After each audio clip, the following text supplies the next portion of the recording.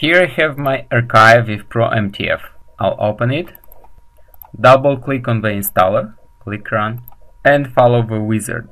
Click next, accept the agreement, next, choose the MT4 platform where you want to install this one, click next, next, next.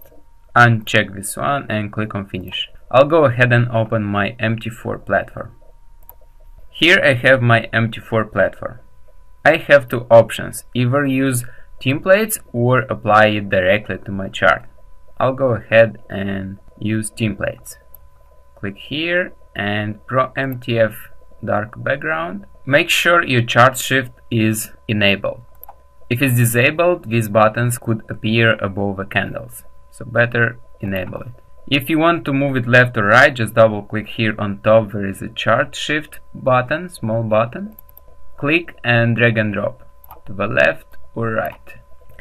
Or use a light background template. Very simple to use as well. Now, if you have a blank chart, like I have in here, go on the left under the indicators and click on Pro MTF. Drag and drop to the chart or just double click. If you are testing it in trial, don't place anything here in email or order ID. Just make sure in Common tab you have Allow DLL import and click OK. Here you have a prompt. ProMTF working fine. If you zoom out, it will zoom out as well. If you zoom in, it will zoom in as well. Very flexible.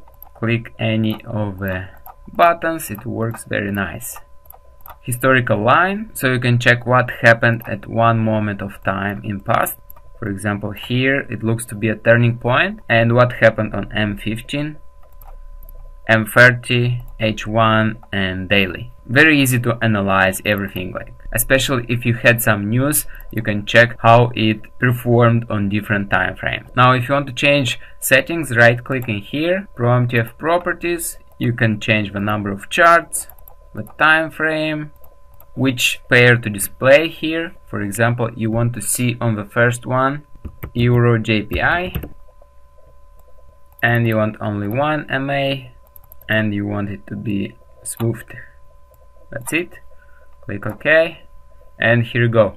Here you have a Euro JPY. This is the chart from Euro JPY, the 15 minute chart.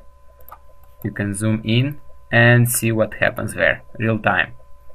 Now if you want to apply another indicator here, again double click or drag and drop. Make sure you change the unique ID to number 2.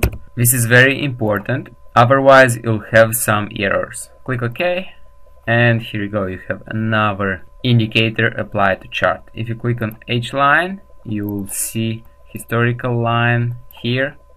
Double click in the middle of it and move anywhere you need.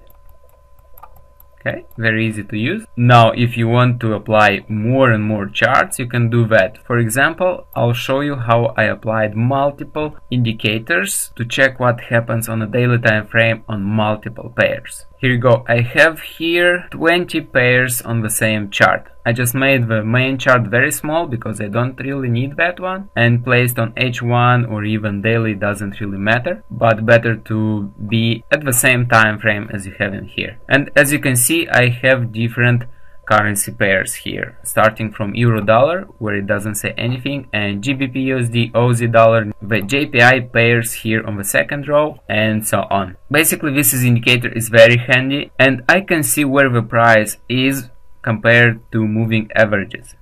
For example here on USD CAD New Zealand JPY thank you for watching and have a nice one